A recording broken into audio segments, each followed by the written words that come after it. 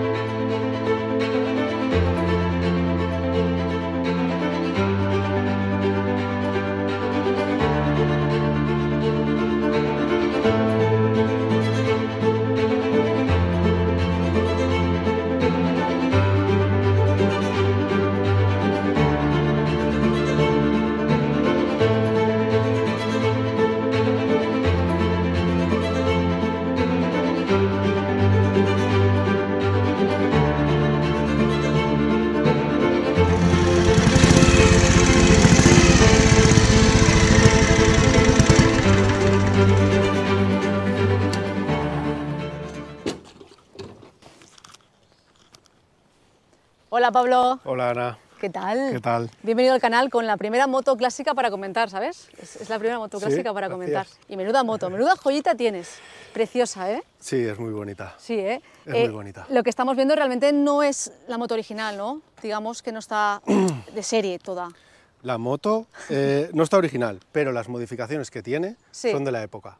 ¿Ah, sí? Sí, o sea, si la moto tiene 70 años, pues las modificaciones se las hicieron cuando la moto tenía 60. Ah, bueno, pero O sea, son modificaciones de la... de- de- modificaciones como antiguas. Sí, sí, sí, sí, claro, de la época. ¿Y qué pasa? ¿Que te gustan las motos clásicas?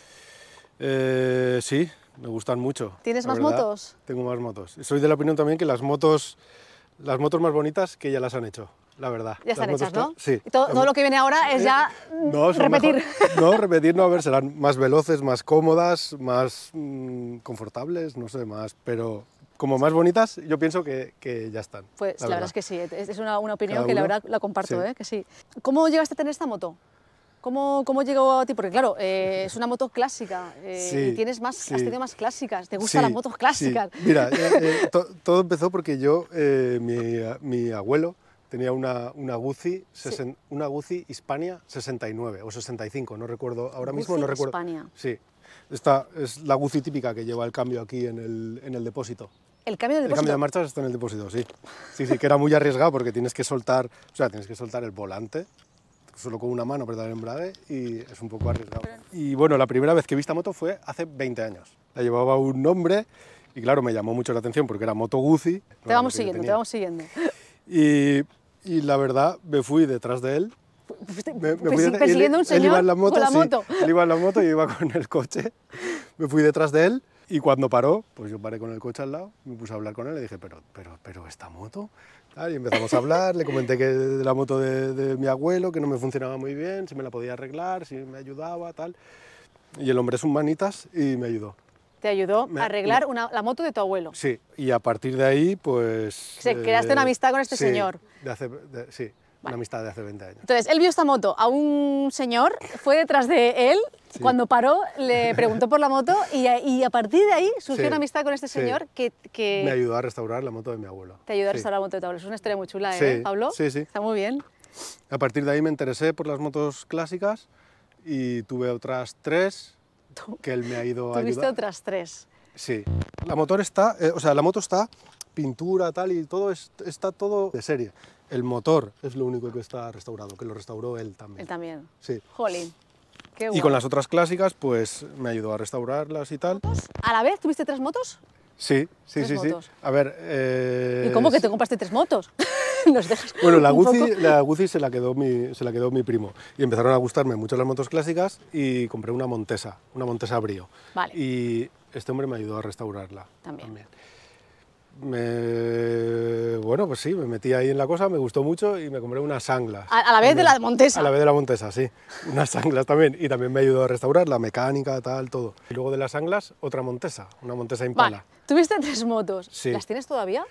No, no, no, no. Esas estaba tres, haciendo una colección y ahora y de repente tiene tres y desaparecen las tres. pues esas tres eh, las vendí y le compré esta al- a este señor. O sea. La moto la tengo de hace cuatro tuviste- meses. La moto la tengo de hace cuatro meses. Vamos a repasar. O sea, entonces tuviste las tres motos, Sí. eh, las restauraste Sí, este hombre me y al sí. final las vendió y le compró al señor que persiguió, que llevaba esta moto, le compró al final la Un moto. psicópata, sí. ¡Ostras! Psicópata no, pero vamos Sí, a ver, es una historia muy muy- chula de contar, ¿eh? Sí, la verdad que sí. O sea, que al final conseguiste la moto que... Porque este señor mm, ya no la usa, claro, no decidió vendértela, ¿no? Sí, el hombre se ha hecho mayor y la verdad es una moto pues eh, de arrancar cuesta. Ujú. Es un motor de 500 y cuesta un poco de arrancar y ya pues, bueno, se ha hecho mayor el hombre y sí, decidió Me imagino que algunos nos estaremos preguntando, ¿qué tiene esta moto, Pablo, para vender tres motos, para perseguir a un señor y al final comprártela? ¿Te gusta tanto, tanto? Me gusta es muchísimo. bonita, desde luego, oye, nos vamos a... sí, que es Me- preciosa. la verdad es que me gusta muchísimo, sí. Merece la pena. Para Merece mí la pena. Para mí merece la pena. ¿Y eh, tú tienes que pasar ITVs y todo o Sí. a- anuales, no? ¿Cómo está? Eh, cada dos años. Cada dos años. Cada dos años, como todas las, como todas las motos. Sí, porque podría hacer la histórica. eh, mm, cuando tiene más de 40 años se puede hacer histórica. Pero bueno, es que ahora está cambiando Histórica mucho. tiene unas restricciones Sí, también, sí, no la puedes usar tú las veces que quieras. Sí, además está cambiando ahora, no sé, está cambiando mucho el reglamento sobre la ¿A mejor o peor? Creo que a mejor. Bueno, creo que a mejor, ¿eh? ya lo creo, que, estudiaremos. creo que mejor. Pero bueno, cada dos años y la moto la verdad es que en la ITV pues, se portan súper bien, no me ponen ningún problema. Cuando vas con una reliquia de estas, te abren Mm, paso, ¿no? No me ponen problemas. Entonces, bueno, pues Eh, que seguimos tu historia, estamos aquí expectantes. ¿Es tu moto mm, de rutina? no. No, no, ¿Pero no, no. por qué? ¿Por qué no es tu moto de rutina? Por... La moto la puedes gastar y no hay ningún problema. Es de 500, ¿eh? Sí, sí, sí. Y, la verdad es que funciona muy bien. Para tener 70 años, eh, la moto funciona muy bien. Pero, pues bueno, es como todas las cosas. Si las gastas mucho, al final yo me Ah, gusta que no quiere que se estropee. Vale, normal, normal, de acuerdo. Yo quiero que me dure. Quiero ¿Qué vas que a me dure. concentraciones y todo esto? Mm, No, no soy muy de ir yo, voy No, más la a quieres mi rollo. pasear para que te vean la moto. Sí, me- pero me paseo yo, pero no soy mucho de ir a concentraciones. Mm, No, no, no, no. Entiendo- quedo yo con mis amigos o yo solo y me pego yo la vuelta. Claro, Sí. es, que al fin y al cabo es- lo que el sentimiento y el sentir la, con la moto y tú eres tú con la moto Sí, realmente. sí. Entiendo que tienes otra entonces. Pues te tengo una tanto las motos. Sí, tengo una Transalp. Transalp. Y que también es del 2002. O sea, también, es, también, tiene sus, también tiene sus años. Pero bueno, es mucho más gastable, no hay problema. Tiene un botón para arrancar, no tienes que liarte a patadas. es mucho más cómoda, claro. Vale, hemos dicho que la moto no, no es original eh, como la estamos viendo, aunque parezca que es, es de serie toda. Eh, ¿Qué cambios hay? Eh, Mira, Ah, te- la- su- eh, las modificaciones son de la época, ¿eh? Pero los cambios que tiene es el contar revoluciones, que no llevaba. Y le pusieron uno. Le pusieron uno. El asiento es partido.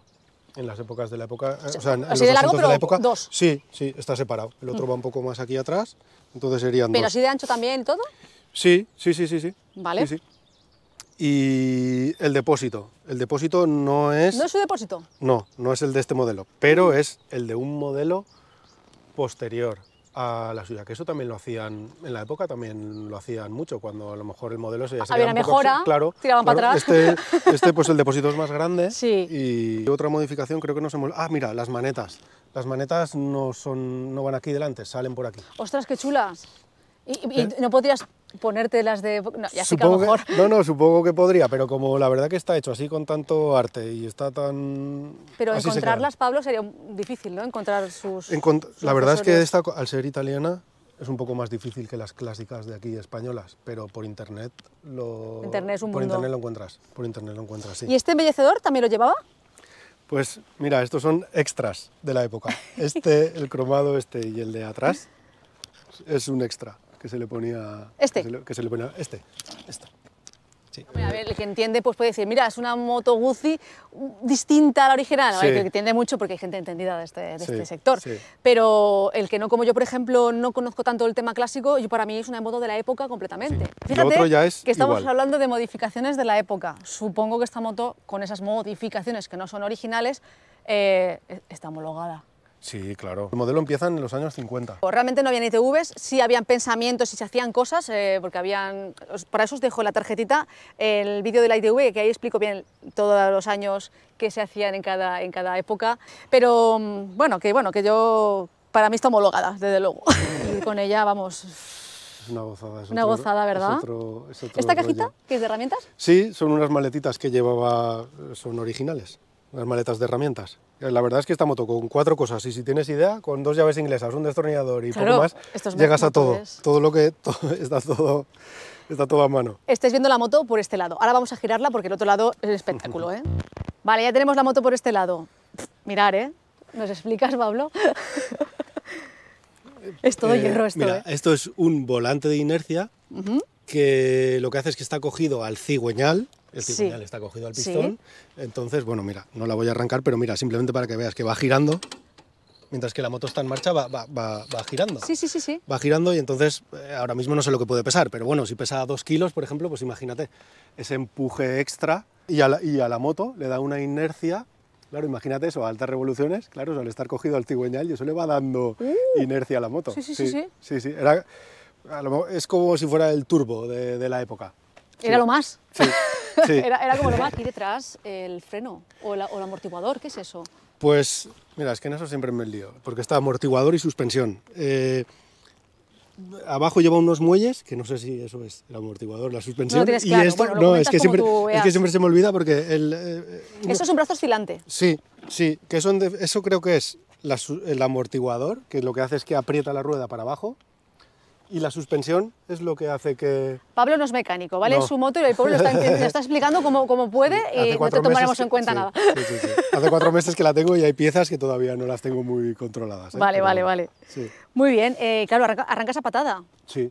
Tiene descompresor, ¿eh? Por ¿No- eso. ¿Nos la arrancas? Sí. Vamos a ver, vamos a ver este modelo clásico, Mira, bueno, tienes que abrir la gasolina, cebarla. Tiene, rudimentario todo. tiene dos grifos, ¿eh? Por eso puedes abrir este o el de al lado. Ah, Tienes como dos salidas. Sí, tengo dos salidas, pero están un- unidas en una, pero tienen, tienen dos salidas. Lo tienes que purgar. Madre mía, me tengo que ir media hora, des- después me voy con la moto. Una vez te caen las gotitas de gasolina, ya está purgado. ¿Ha, ha bajado las gotitas? ¿Ves? Mira, mira, ¿ves cómo está, está saliendo por ahí? Sí, sí, sí. Ostras, pero eso no es un poco peligroso. Eh, un poco. Madre mía, madre mía. Y una vez está purgada, tienes que apretar el descompresor. Tomar nota.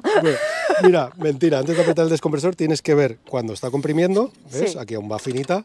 Una vez le hemos pillado el punto de, de compresión que está comprimiendo, tienes que apretar el descompresor, darle con muchas ganas y soltar. Ah, a la primera, ¿eh? ¿Ves? Y el detalle del el volante va girando. Hay que ir con cuidado porque Eso. los cordones... O sea, hay que ir con cuidado, no puedes ir con los cordones. Los cordones. O, sí, o- Está protegido, pero te, lo te le lleva. sí.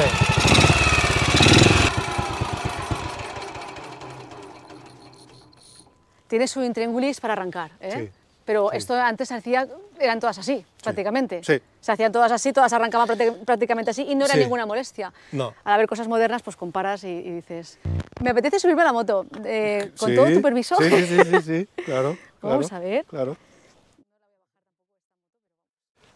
No, no pesa mucho, ¿eh? No, no, no, no pesa nada. Pesará 180 kilos o así, o sea, no, bueno, tampoco es una moto muy, muy pesada, podrías con ella seguro. Qué bonita. Esta sí que llegó bien a todo. La verdad es que es muy chula, ¿eh? Claro, tú eres más alto que yo. Sí. A ti igual eh, las curvas y esos, no sé, para las piernas... mm, Vas un poquito plegado, sí, pero da igual. Me da igual padecer un poco. No, no, con lo que te ha costado eh, conseguirla y todo, desde luego ya no ser ningún problema en nada.